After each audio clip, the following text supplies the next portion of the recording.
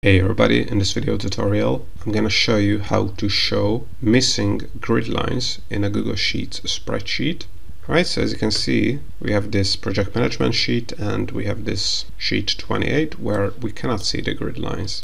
If we check out another sheet you can see that these are the grid lines. So basically they are these, these uh, light gray border of the cells and they can be useful so if you want to show them again, if they are missing in your Google Sheets spreadsheet, all you have to do is click on the View menu bar option and select Show.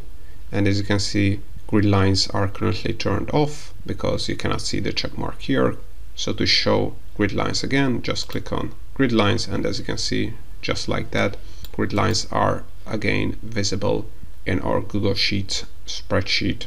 Of course, you can also add regular border to your cells, but grid lines can be also useful.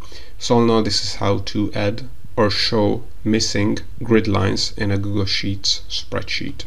I hope you found this tutorial useful. If you want to get access to our complete Google Sheets function database or our Google Sheets shortcut keys ebook for free and other Google Sheets resources and Google Sheets templates, then make sure to check the links in the description below. Also, if you want to learn more about how to use Google Sheets, make sure to check out our YouTube channel and playlists where you have a ton of tutorials and more Google Sheets tutorials are coming up. So also make sure to subscribe